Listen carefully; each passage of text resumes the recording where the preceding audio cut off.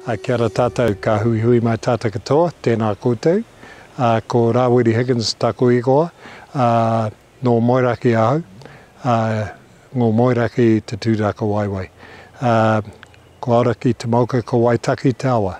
Ko Takapo te roto, ko Te Tai o Arai te uru i te moana. Tihei mauri ora. Kia ora, my name's David Higgins, I'm the Upoko Runaka of Moeraki marae and its associated runaka. I have been involved with the tribe for now on 50 years and it's a pleasure to be here.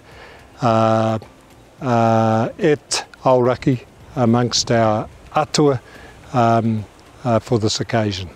Uh, my role at present is I'm a kaitoko mātauraka for the tribe uh, and particularly for the Moiraki area, which includes this uh, beautiful valley, um, where I'm involved with directly with the schools, uh, all of the kura within the Waitaki uh, Takiwa.